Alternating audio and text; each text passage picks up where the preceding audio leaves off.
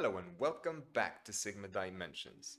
In this video, we're going to learn how to export IFC data to other types of formats. If we don't have IFC OpenShell, you can just do pip install IFC OpenShell, Python. Alright. So the first thing we need to do is create a brand new file. Then import IFC OpenShell and IFC OpenShell util element as element.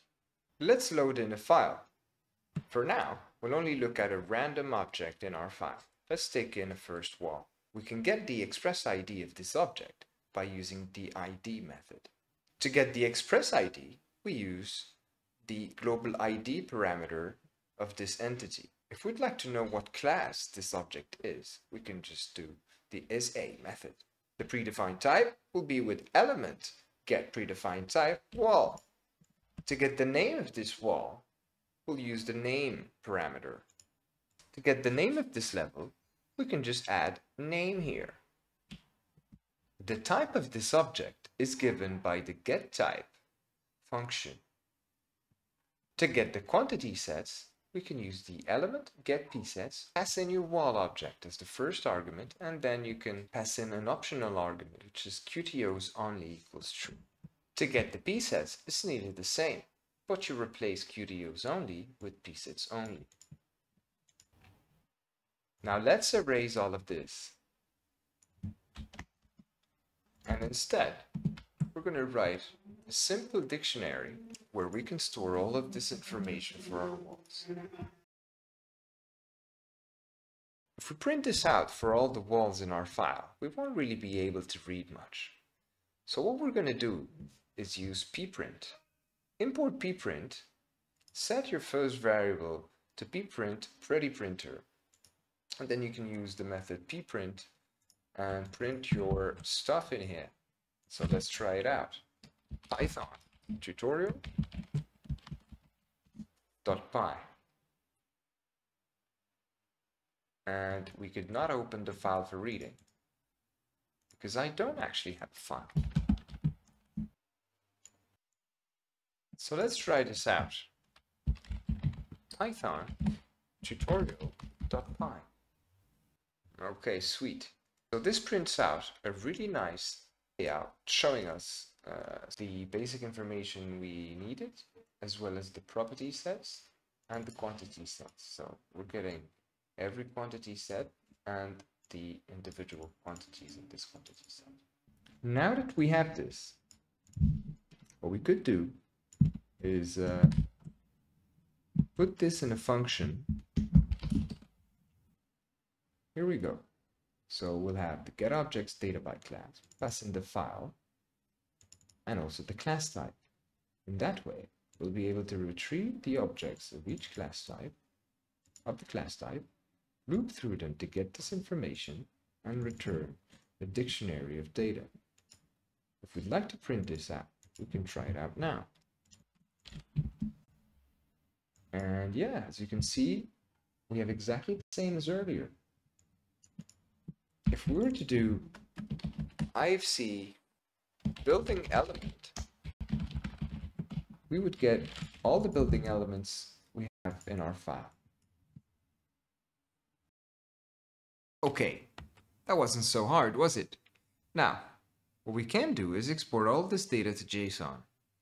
And to do so, we're going to change this function ever so slightly. So let's turn this into a list rather than a dictionary. So we'll be appending all this data, which is also a dictionary. But yeah, we'll be returning a list rather than a dictionary now. Get rid of all of this and import JSON and do with open, choose a file path. I'm going to put it into my models folder and call it test JSON. And since we'll be writing, we'll do it with a W, then as file. So the data we're gonna JSON dump the data we have into our file. And now if we execute this,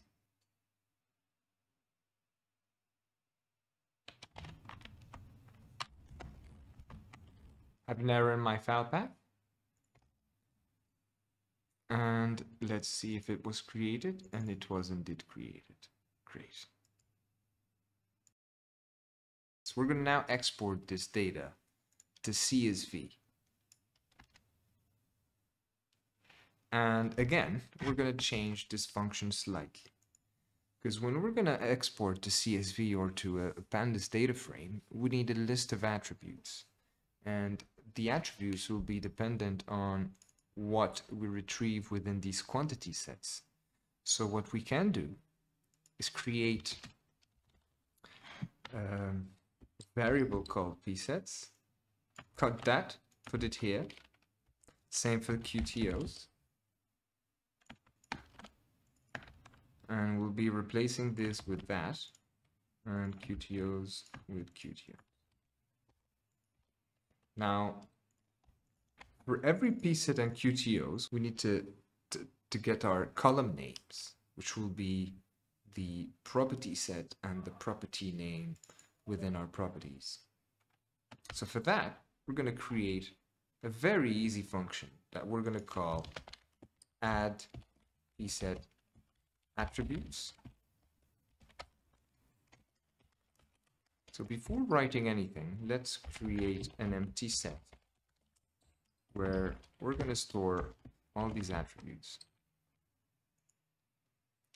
And our function will be something like this. So for every pset name and pset data and pset items,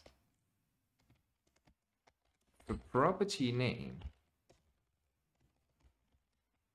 and pset data keys will be adding to the pset attributes the uh, format which will be something like this. So we're going to add the pset name and we'll do a dot and then we'll put in the property name.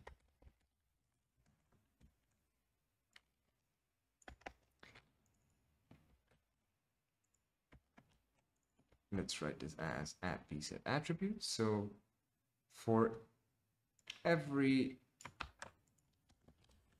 for every pset that we retrieve for this object, we'll also be adding the pset attributes to our set over here. And in that way, we'll be able to, ret to return in this function not only the object's data, but also the pset attributes we can then write data and attributes. And since we have a, a set, we'll be returning this instead. Let's put this up here. So let's try and print all the attributes we get here. pset is not defined. Okay. All right, so we get a list of all the psets in the format we said, the name of the pset, dot, and then the property name. We also have all these attributes that we need. So to distinguish between all this, we're going to write this as pset attributes. So we have our data ready, and we have our attributes ready. What's left to do is actually write this to pandas. Pandas data needs to be in a slightly different format than what we've created earlier. So unfortunately, we're going to have to loop again for our uh, data object. And here we'll create an empty row. And for each attribute in attributes, the value will be retrieved with a function that we're going to create in a second. object data and the attribute and we'll append this value to our row. And then the pandas data needs a tuple rather than a list. So we'll append that as a tuple. And then if we import pandas that's pd and write data equals pd data frame from records. And data columns attributes should be able data frame be able to print the data frame in our console. Now this function doesn't yet exist so we're going to create it now so in order to get the attribute value from this dictionary so maybe sometimes we have the value maybe sometimes we don't have the value so we're going to get different scenarios. So we first need to plug in the object data the attribute we're looking for. And we know that if we don't have a dot then it's a normal attribute. Well it's not a p set or a quantity set so we'll just return the object's data attribute. Instead if we do have a dot in the attribute, then we can get the pset name as the attribute and by splitting this string with a dot and taking in the first part and so the property name will be the second part now if the pset name is in the object data property sets, we're going to look at as keys only. So if the prop name, and I misread this, so if the prop name in the object data property sets pset main keys, then we can re return the value of this property.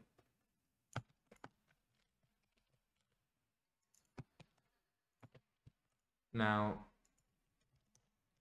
if it doesn't, we'll return none.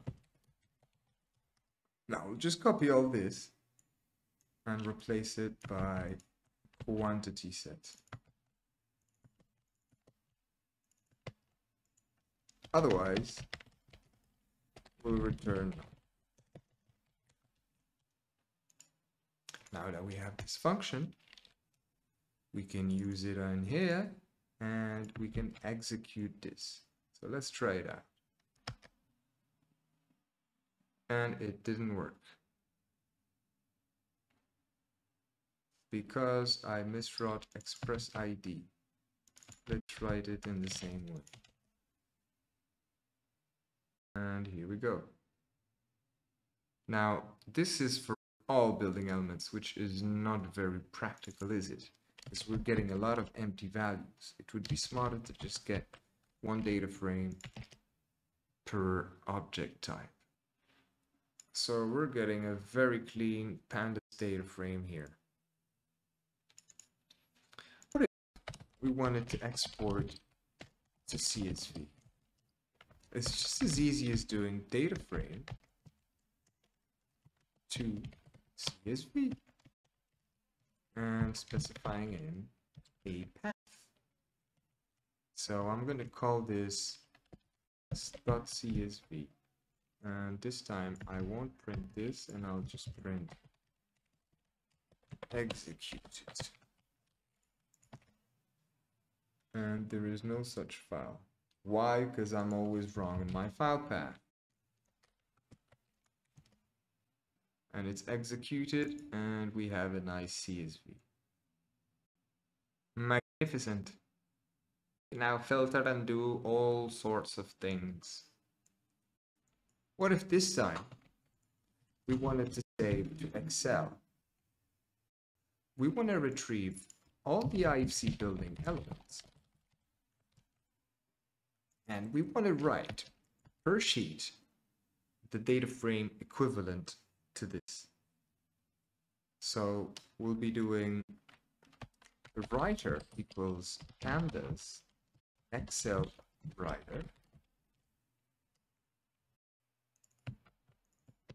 PD Excel writer. And here we'll pass in the um, path again. That's dot XLSX. And we'll use an engine, which is the XL XLSX writer. Okay. For object class and data frame class. We would is a filtered data frame